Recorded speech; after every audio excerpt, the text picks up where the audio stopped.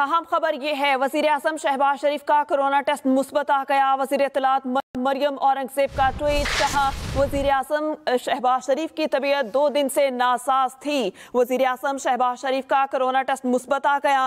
वज़ीर इतलात मरियम औरंगज़ेब का ट्वीट, कहा वज़ीर अजम शहबाज शरीफ की तबीयत दो दिन से नासाज थी। वज़ीर अजम शहबाज शरीफ का कोरोना टेस्ट मुस्बत आ गया। वज़ीर इतलात मरियम औरंगज़ेब ने ट्वीट किया। ट्वीट में कहा वज़ीर अजम शहबाज शरीफ की तबीयत दो दिन से नासाज थी। अहम खबर यह है कि वज़ीर अजम शहबाज शरीफ का कोरोना टेस्ट मुस्बत आ गया और वज़ीर तलात मरियम औरंगज़ेब ने ट्वीट किया, लिखा, वज़ीर अजम शहबाज शरीफ की तबीयत दो दिन से नासाज थी, डॉक्टर्स ने उन्हें मुकम्मल आराम का मशवरा दिया, कौम से दुआओं की अपील भी की गई। वज़ीर अजम शहबाज शरीफ का कोरोना टेस्ट मुस्बत आ गया, वज़ीर अजम शहबाज शरीफ का कोरोना टेस्ट मुस्बत आ गया, जिसकी तस्दीक वज़ीर तलात मरियम औरंगज़ेब ने कर दी। उन्होंने ट्वीट किया, लिखा, वज़ीर अजम शहबाज शरीफ की दो रोज से तबीयत नासाज थी। डॉक्टर्स ने तस्दीक कर दी। डॉक्टर्स के मशवरे से कोरोना टेस्ट करा लिया गया, जो कि मुस्बत आ गया। इस पर मजीद तफसी जान लेते हैं खालिद महमूद से।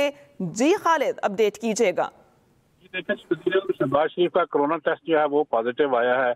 क्योंकि वो लंदन से गुजशत रोज इस्लामाबाद पहुँचे थे और जब दो रोज कबल वो लंदन से रवाना हुए थे तो एयरपोर्ट पर उनकी तबीयत अचानक खराब हुई थी, जिसके बायस वो दोबारा वापस अपने घर चले गए थे और दो रोज मजीद लंदन में क्याम किया था। लेकिन गुजशत रोज जब उनकी तबीयत कुछ बेहतर हुई तो वो पाकिस्तान पहुँच गए। आज भी उनकी तबीयत जो है वो नासाज थी और डॉक्टरों ने मशवरा दिया कोरोना टेस्ट करवाने का। जो कोरोना टेस्ट करवाया गया तो उनका जो रिज़ल्ट है वो पॉजिटिव आया है। इस तरह मरीम औरंगज़ेब जो वाकिफ वजी तलात नशरियात हैं, उन्होंने भी इस बात की तस्दीक की है कि वजी अजम शहबाज शरीफ का कोरोना टेस्ट जो है वो पॉजिटिव आया है। जी।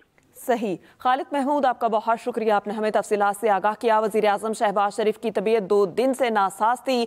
वज़ीर इतलात ने ट्वीट किया, लिखा वज़ीर अजम शहबाज शरीफ का कोरोना टेस्ट मुस्बत आ गया है। डॉक्टर्स ने उन्हें मुकम्मल आराम का मशवरा दिया। वज़ीर अजम शहबाज शरीफ की दो रोज से तबीयत नासाज थी। डॉक्टर्स के कहने पर टेस्ट करवाया गया, जो कि मुस्बत आ गया।